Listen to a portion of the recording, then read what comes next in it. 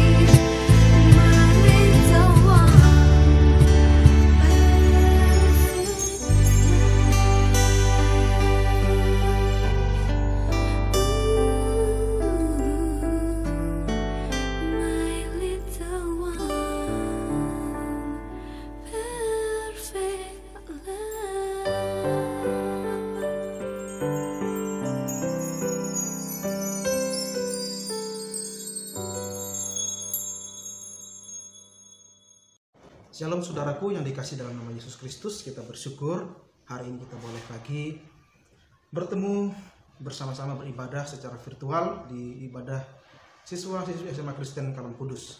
Nah, pada hari ini sebelum kita memulai ibadah kita, saya mengajak kita untuk kita berdoa. Mari kita berdoa. Bapa di sorga, terima kasih kami boleh mendapatkan waktu dan kesempatan lagi dari Tuhan untuk kami beribadah dalam ibadah siswa-siswi SMA Kristen Kawan Kudus Pematang Siantar. Kami menyerahkan ke dalam tanganmu waktu-waktu kami merenungkan firman Tuhan ke depan. Kiranya Tuhan yang memberkati, memberikan hikmat kepada kami untuk dapat memahami firman Tuhan, merenungkannya dan melakukannya dalam kehidupan kami setiap hari. Terima kasih Tuhan, di dalam nama Yesus kami berdoa. Amin. Nah, saudaraku, siswa-siswi yang dikasih Tuhan, saya menunjukkan sebuah tayangan untuk kita bisa perhatikan bersama-sama menjadi bahan perenungan kita masuk ke dalam perenungan pada hari ini. Mari kita perhatikan video berikut ini.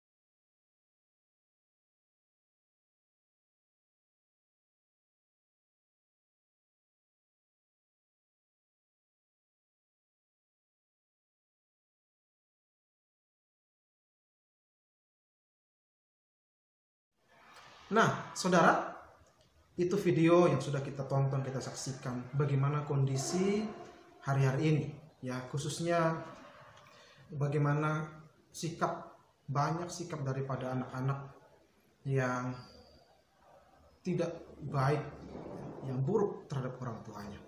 Bagian firman Tuhan kita hari ini diambil dari eh, Yohanes pasal 19 ayat 26 dan 27. Demikianlah firman Tuhan tertulis. Ketika Yesus melihat ibunya dan murid yang dikasihinya di sampingnya, berkatalah ia kepada ibunya, "Ibu, inilah anakmu." Kemudian katanya kepada murid-muridnya, inilah ibu.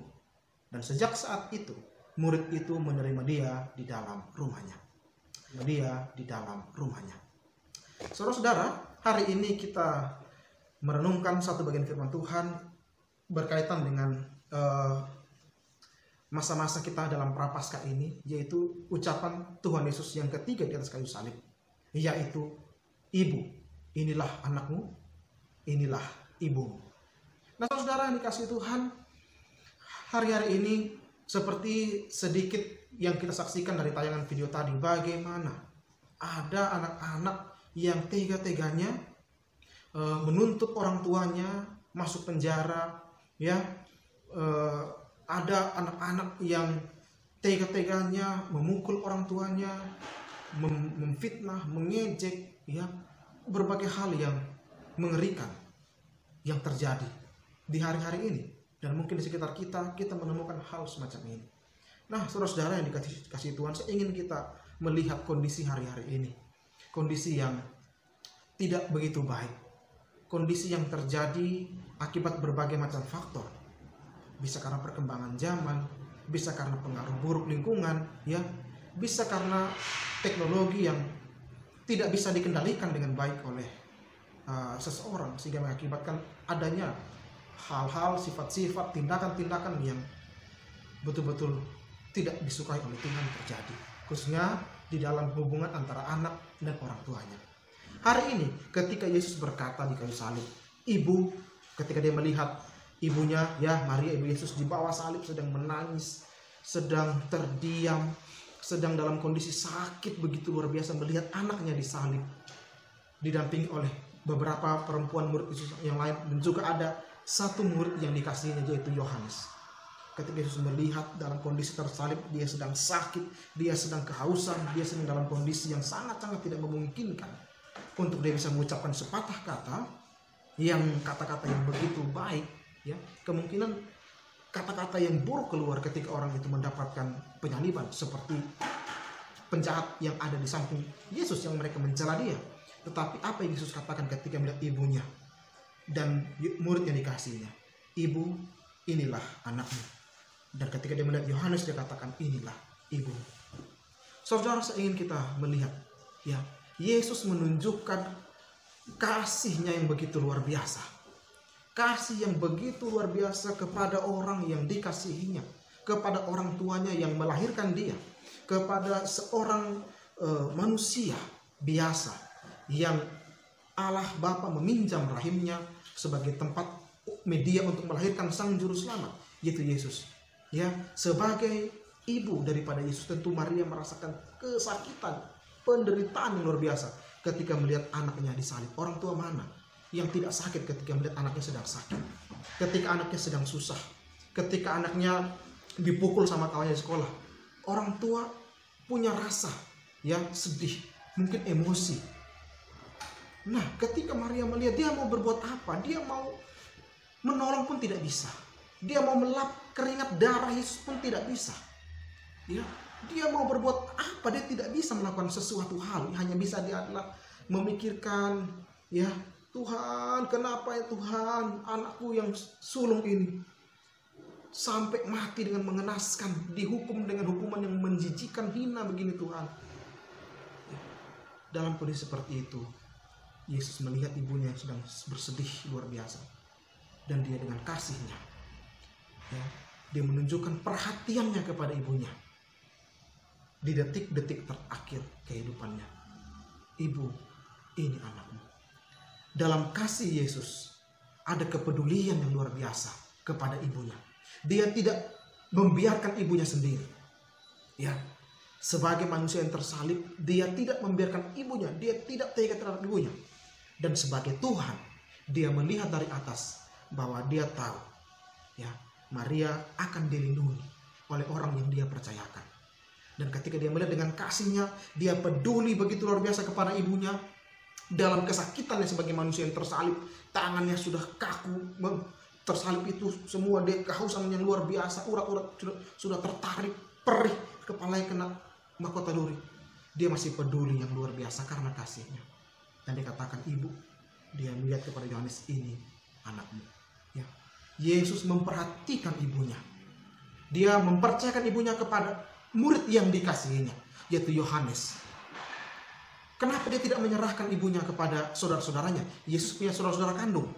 Ya, ada Yakobus dan lain-lainnya. Saudara kandung Yesus dari Maria dan Yusuf. Yusuf bapaknya sudah meninggal menurut para penafsir. Maka seharusnya dia berikan ibunya itu akan dirawat oleh saudara-saudaranya. Tapi kenapa dia serahkan kepada Yohanes?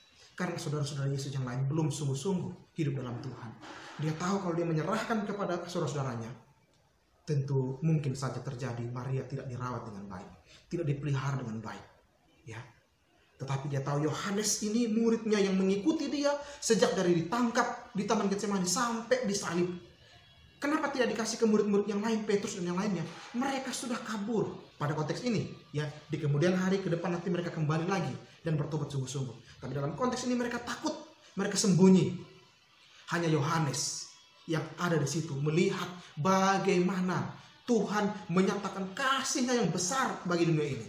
Sehingga dia mengaruniakan Yesus anaknya yang tunggal. Mati untuk menyelamatkan dunia. Yesus Rasul, eh, Yohanes Rasul kasih. Dan dia melihat itu. Yesus melihat hatinya yang penuh kasih. Yesus melihat motivasinya yang tulus. Yesus melihat Yohanes ini ya menjadi seorang yang dapat merawat ibunya. Maka diperhatikan Yohanes dikatakan ini ibu. Ya. Dan apa yang terjadi? Semenjak saat itu, murid itu, Yohanes itu menerima dia, ibunya Yesus Maria di dalam rumahnya. Bahkan sampai akhir hidupnya, Yohanes merawat Maria bagaikan ibu kandungnya sendiri. Saudara dikasih dalam nama Yesus Kristus hari ini. Ya. Mari kita belajar seperti Yesus. Kalau dia bisa sampai sebelum mati, detik-detik terakhir hidupnya dia masih memperhatikan orang tuanya yang ada. Yaitu Maria. Bagaimana dengan kita? Ya. Sudahkah kita memperhatikan orang tua kita dengan baik? Sudahkah kita mengasihi orang tua kita dengan sungguh-sungguh? Sudahkah kita mau peduli kepada orang tua kita dengan benar? Ya. Apa yang orang tua inginkan, apa yang orang tua harapkan, apa yang orang tua gumuli tentang saya sebagai anak-anak. Maukah kita mendengar, ya, maukah kita mencoba mendalami isi hati kerinduan orang tua bagi anaknya? Ketika kita sebagai anak-anaknya tidak taat kepada orang tua, bagaimana hati orang tua itu? Mengharapkan kita taat. Ketika kita diminta tolong dan kita menolak dengan segala macam alasan, bagaimana mana hati orang tua? Saudara, hari ini bagi kalian yang masih punya orang tua, baik itu masih lengkap ataupun tinggal satu, ya. Kalau yang satu sudah dipanggil Tuhan, mari masih ada waktu bagi kita untuk kita memperhatikan orang tua kita, menyayangi mereka, mempedulikan mereka. Ya, Yesus sudah memberikan teladan itu. Ya. Ada tiba waktunya di mana kita kehilangan orang tua. Baru di situ akan ada penyesalan. Bagi yang menyanyiakan kesempatan yang Tuhan berikan bersama dengan orang tua hari ini. Ya, ketika orang tua dipanggil Tuhan, di situ akan ada penyesalan. Kenapa dulu saya tidak peduli? Kenapa saya tidak taat? Kenapa saya tidak dengar? Kenapa saya tidak eh, mau menolong orang tua ketika disuruh?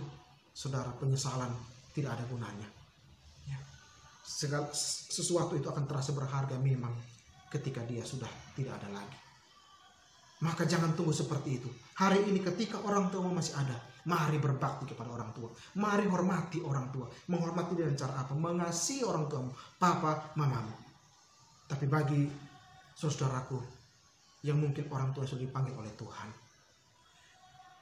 mari kita memperhatikan juga siapa yang merawat dan membesarkan kita.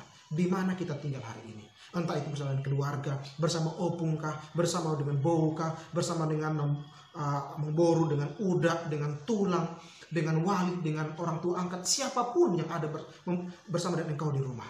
Perhatikan mereka, kasihi mereka seperti orang tua kandungmu sendiri. Karena mereka dipakai oleh Tuhan untuk mengasihi dan membesar serta merawatkan merawatmu. Ya, maka tugas kita, tugasmu untuk memperhatikan mereka, mengasihi dan mempedulikan mereka setulus hati. Hari ini kita belajar sebagai anak-anak, saya juga anak yang masih punya orang tua. Mari bersama kita semua belajar dengan tulus untuk mengasihi orang tua kita, mempedulikan mereka, menghormati mereka, menyayangi dan mencintai mereka selagi masih ada waktu. Jadilah anak yang berbakti seperti Yesus yang dia tetap mengasihi orang tuanya sampai akhir hidupnya. Tuhan memberkati. Kita berdoa. Ya Tuhan, kami mau belajar seperti Yesus, mengasihi dan peduli kepada orang tuanya sampai akhir hidupnya. Kami mau mengasihi, menyayangi, peduli orang tua kami, orang-orang yang sudah membesarkan kami, merawat kami, walaupun bukan orang tua kandung kami. Kami mau mengasihi mereka dengan kasih yang Tuhan berikan kepada kami. Peduli, menyayangi, mencintai mereka. Terima kasih untuk kesempatan ini untuk kami merenungkan firman-Mu. Dalam nama Yesus kami mengucap syukur dan berdoa. Amin. Shalom, Tuhan Yesus memberkati.